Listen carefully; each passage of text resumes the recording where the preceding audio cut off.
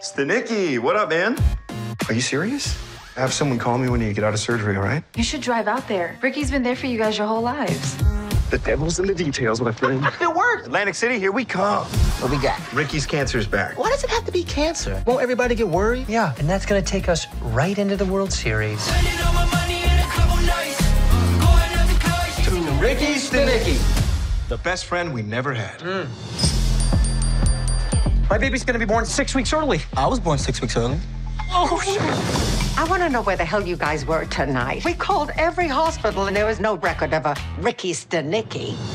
You know, all we did was tell one lie. Hundreds and hundreds of times over many, many years. If the truth does come out, my marriage is over. What if we hire an actor to play Stanicky?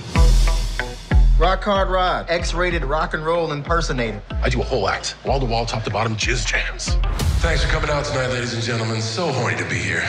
This is a really bad idea. Oh, Jesus. I've been cold turkey in the booze. Ricky Stanicky's in the program, remember? Oh, Rod. It's not what you think it is. It's just piss. I'm a hyper every time. Now my mouth. I want you to admit that Ricky Stanicky does not exist. Hey, mas This is Ted Summerhays, my boss. Ted, nice to meet you. Digging the suit and the seedlings, man. The seedlings. The hair plugs, they're new, right? This is my hair. We're gonna lose our jobs. That my best friend. She a real bad on the dance floor. Epic night, am I right, guys? Twerking, she throw it out and come back in. That's my best friend. I was really taken with your friend Stanicky. He's got brass balls on him, that guy. That's why I hired him. That's awesome. You just said, what did you say? Just say it one more time. We can't let him out of our sight. Not only did I miss the birth of my son, but I let some porno Peter Frampton impersonator snip his. And we're done. Stanicky, you are unbelievable. Show's over, Rod. It's Ricky. Ricky Stanicky isn't real. My job sucked. I had no friends.